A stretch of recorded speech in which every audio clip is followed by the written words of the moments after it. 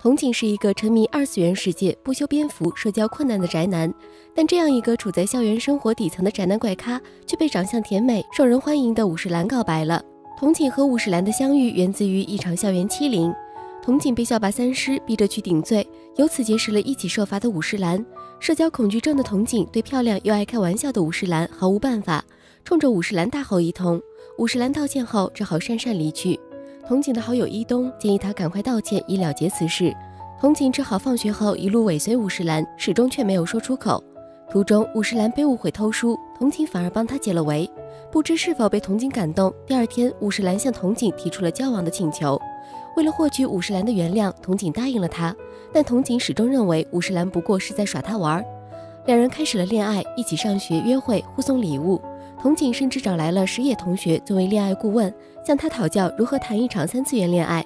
可没想到，武士兰对童景的二次元世界毫不嫌弃，这让童景很受鼓舞。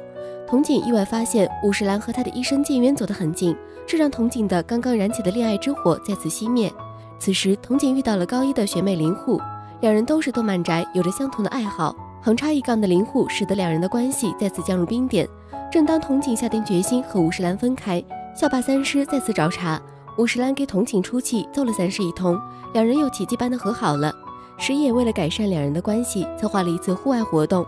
学妹林户、童景的二次元好友伊东和童景三人之间的关系发生了一些微妙的变化。林户喜欢童景，而伊东则对动漫侃侃而谈的林户颇有好感。最后，伊东牺牲了自己，帮助林户向童景告白，而童景的心房早已被武十兰填满。他匆匆向林户道歉后，急忙跑去找武十兰解释清楚。两人一番互诉衷肠后，童景拿出了为武士兰准备的礼物，是一个以武士兰为原型的魔法少女手办，却在奔跑过程中把魔法手杖折断了。可好景不长，一记霹雳打在童景头上，武士兰提出要分手。原来武士兰由于患病要做开颅手术，很有可能在手术台上下不来，武士兰不辞而别了。五年后，童景还是那个呆呆的爱看动漫的死宅，不过他身边没有那个挽着他的手臂笑笑跳跳的漂亮女孩了。武士兰对童景来说就像一场长达半年的美梦。童景在两人高中时期经常约会的地方再次见到了武士兰，可武士兰却丝毫不记得他是谁。五年里，武士兰在手术后就失忆了，而之后一直陪伴在武士兰身旁的建渊医生也快和他结婚了。